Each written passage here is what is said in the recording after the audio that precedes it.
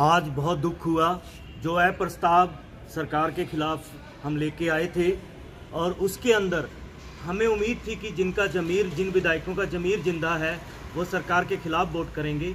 लेकिन आज जानकर बहुत दुख हुआ, जब सिर्फ़ बत्तीस विधायकों ने ही सरकार के खिलाफ वोट करी और एक तरह से किसानों के पक्ष में वोट करी और ज़्यादातर जो विधायक थे, उन्होंने, चाहे बीजेपी के थे, जेजेपी के थे, उन्होंने सरकार के पक्ष में वोट करी, यानी कि किसानों के खिलाफ वोट करी। तो मजदूर, किसान वर्ग, छोटे व्यापारी, सभी से मेरी विनती है कि अब इनका जो जमीर है, इनका जमीर मर चुका है। इनको अपने एरिया में, इनमें, इनको घुसने मत देना। और इनको वोट की चोट से अब ख़त्म करना किसान जो है वो हार मानने वाला नहीं है। और जब तक हम ये संघर्ष जीत नहीं लेते ये लड़ाई जारी रखे रह, रहेगी।